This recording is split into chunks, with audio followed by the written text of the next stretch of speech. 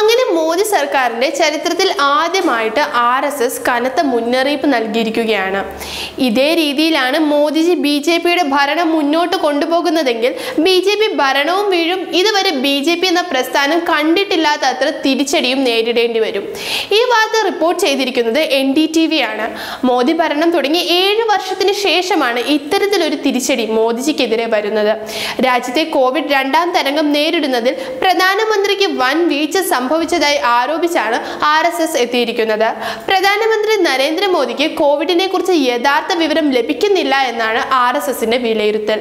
ഇത് സ്ഥിതിഗതികൾ നേരിടുന്നതിൽ വീഴ്ചയ്ക്കിടയാകുന്നു. പ്രധാനമന്ത്രിയുടെ ഓഫീസിൽ കോവിഡ് നേരിടുന്ന ടീമിൽ മാറ്റം വരുത്തണമെന്നും സംഘടനയ്ക്ക് അഭിപ്രായമുണ്ട്. മോദിയെ ചുറ്റിപ്പറ്റി നിൽക്കുന്നവർക്ക് ഉത്തരവാദിത്തമില്ലെന്നും പേര് വെളിപ്പെടുത്താതെ ആർ എസ് എസ് നേതാവ് പറയുന്നു.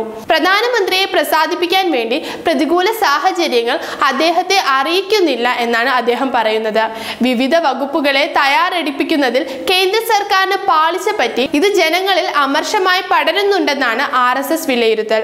പ്രധാനമന്ത്രിയുടെ ഓഫീസിൽ കോവിഡ് നേരിടുന്ന ടീമിന് മാറ്റം വരുത്തണമെന്നും പ്രധാനമന്ത്രി മുഖ്യമന്ത്രിമാരുമായി സംസാരിച്ചത് കൊണ്ട് മാത്രം കാര്യമില്ല നടപടികൾ വേണമെന്നും പൊതുജനങ്ങൾക്കിടയിൽ അഭിപ്രായമുണ്ടെന്ന് ആർ പറയുന്നു.